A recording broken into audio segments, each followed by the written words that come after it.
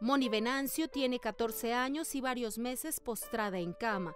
Su mamá busca ayuda para darle una mejor calidad de vida, pues como deben cuidarla las 24 horas, no pueden trabajar.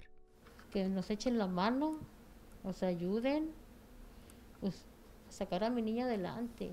Yo lo que quiero que pues me ayuden a eso, a sacar a mi hija adelante. Hace un año a Moni le detectaron leucemia mieloide aguda. Empezó con las quimioterapias y todo iba bien hasta que empezó a tener complicaciones. La última quimio, pero era muy agresiva. Y pues sí, es como quedó.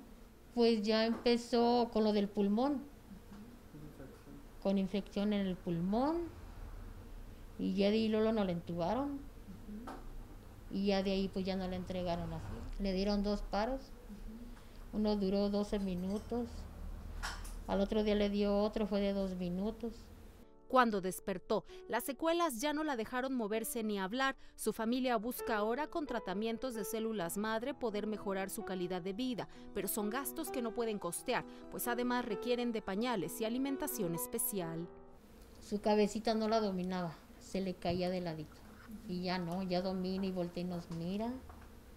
Mueve su cadera, sus piernas, sus bracitos, ya los alcanza a levantar tantito para arriba. ¿Y entonces ya no? Eso no lo hacía. Cada tratamiento nos cuesta como 15 mil pesos. Entonces no tenemos de dónde pagarlo. Nosotros queremos que mi niña se recupere, pero siempre es el dinero el que se ocupa. Entonces, pues si alguien nos pudiera ayudar para seguir con el tratamiento. Su esposo falleció hace tres años, así que solo obtienen recursos de ayuda de vecinos y lo que venden en un bazar que tienen en la cochera de su casa.